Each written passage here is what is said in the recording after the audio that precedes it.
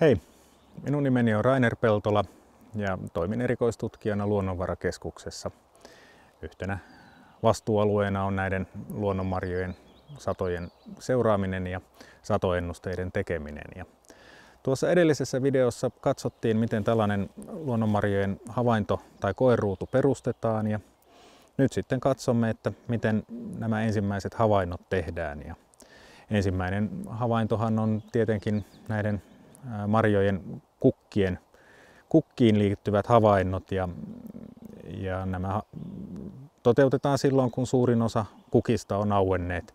Eli, eli nyt tässä esimerkiksi on mustikka aika hyvässä kukassa ja nyt on sitten aika tehdä nämä havainnot. Ja varsinkin mustikan kanssa pitää olla tarkkana. Jos kevät on kovin lämmin, niin nämä mustikan kukat aukeavat hyvinkin nopeasti. Näiden kukintahavaintojen tekeminen on hyvin yksinkertaista. Eli käytännössä me laskemme kukkien lukumäärän tämän koeruudun rajaamalta alueelta, eli yhden neliömetrin alueelta.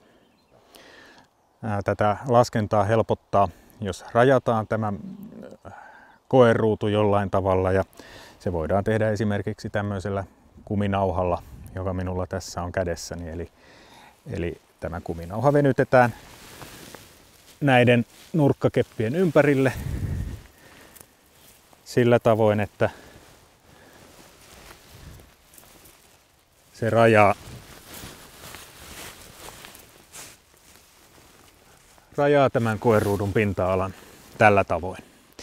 Ja tällainen kuminauha on siinäkin mielessä kätevä, että jos sitä laskettavaa on hyvin paljon, niin sitten tällä kuminauhalla voidaan jakaa tämä koeruutu pienempiin osiin, jotka sitten lasketaan yksi kerrallaan.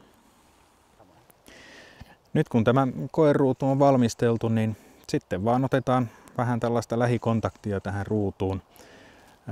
Hyvin tärkeää on se, että tämän ruudun sisäpuolelle ei astuta. Eli nyt vältetään viimeiseen saakka runnomasta näitä laskettavia varpuja.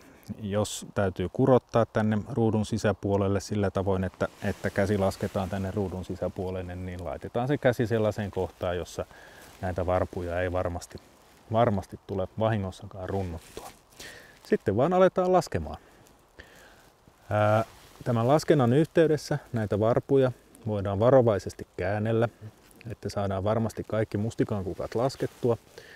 Mutta hyvin tärkeää on se, että näitä kukkia tai tätä kasvustoa ei muutenkaan vaurioiteta, koska tästä samaisesta ruudusta lasketaan sitten ne raakileet ja kypsätkin marjat. Näitä kukkia kun lasketaan, niin lasketaan sekä nupussa olevat kukat että sitten myöskin täysin ava- avautuneet kukat. Lasketaan ainoastaan ne kukat, jotka kulkee tämän neliörajan, jotka ovat tämän neliörajan sisäpuolella. Eli, eli jos varvus, varpu on tämän neliön sisäpuolella, mutta kukka on sen neliön ulkopuolella, niin sitä ei lasketa. Ja päinvastoin, jos varpu on neliön ulkopuolella, mutta kukka sisäpuolella, niin sepä sitten lasketaan.